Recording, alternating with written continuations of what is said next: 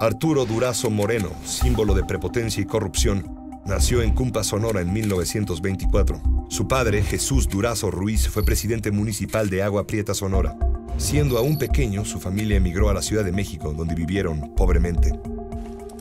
Cursó sus estudios en primaria en el Centro Escolar Benito Juárez de la colonia Roma, donde coincidió con dos niños un poco mayores con los que llegó a tener una gran amistad. Uno era Luis Echeverría Álvarez y el otro era José López Portillo. En esos años se ganó la fama de golpeador, pero también de protector de sus amigos, a los que ayudaba siempre en cualquier circunstancia y contra cualquier rival. También entonces comenzaron a apodarle el negro debido a su tez oscura. Después de pasar por la Escuela Superior de Comercio y Administración, trabajó en el Banco de México. En 48 su carrera dio un giro hacia las labores policíacas, primero como inspector de tránsito y dos años después como agente de la Dirección Federal de Seguridad, la Oficina de Espionaje y Control Político del gobierno mexicano. En 58 obtuvo su ascenso a comandante de la misma corporación y en 62 pasó como primer comandante a la Policía Judicial Federal. Destinado al aeropuerto de la Ciudad de México, según investigaciones del gobierno de Estados Unidos, fue entonces cuando Durazo vendió su alma al crimen.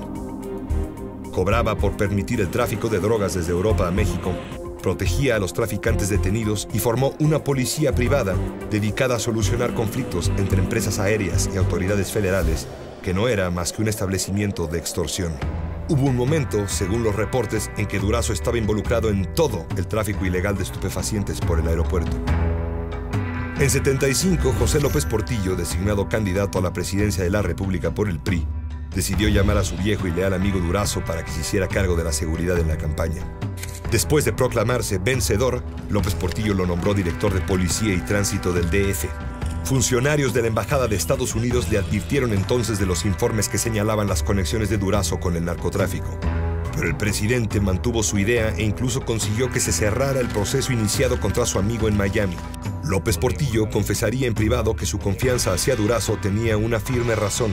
Sabía que su lealtad era tal que podría dar su vida por proteger la suya. La cercanía con López Portillo respaldó el poder inmenso y la impunidad de los que Durazo disfrutó a lo largo de los siguientes seis años. Durazo convirtió la extorsión en un negocio en que la policía participaba en todos sus niveles, exigiendo cuotas de acuerdo con el rango y ubicación de cada cargo.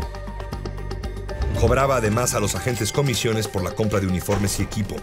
3.000 policías de la Ciudad de México solo existían en las nóminas y Durazo se embolsaba directamente sus sueldos.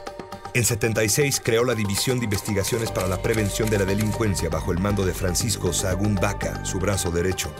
Desde ahí se planearon secuestros, detenciones ilegales y hasta robos de bancos. Incluso ahí pudo haberse fraguado el asesinato de 12 asaltantes que una mañana de 81 aparecieron flotando en el río Tula tras ser arrojados a una lumbrera del sistema de drenaje profundo usando a cientos de agentes de la policía como albañiles y materiales destinados a obras públicas, Durazo edificó una lujosa mansión en el Ajusco que contaba con galgódromo, caballerizas, lagos artificiales y una discoteca que reproducía el famoso Estudio 54 de Nueva York.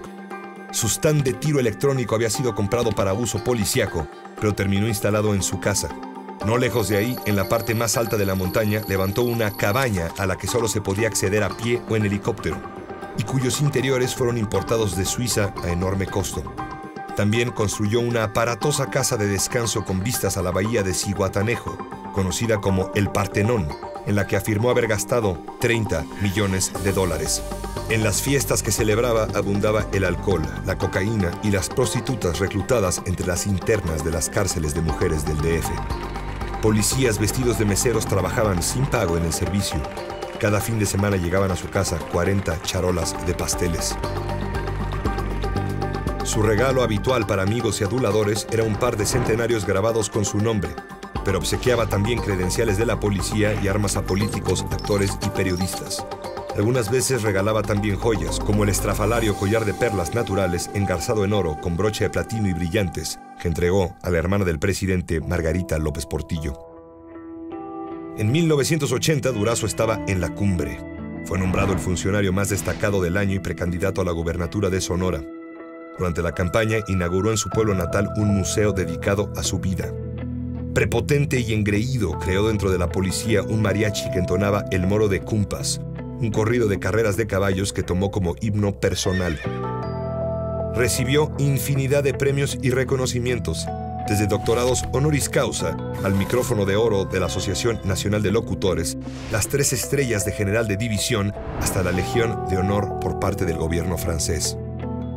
En 1982 llegó a la presidencia Miguel de la Madrid bajo el lema de la renovación moral y José González González, quien se había desempeñado como su jefe de escoltas en la policía del DF, publicó en 83 el libro Lo Negro del Negro Durazo, describiendo con detalle sus delitos y excesos.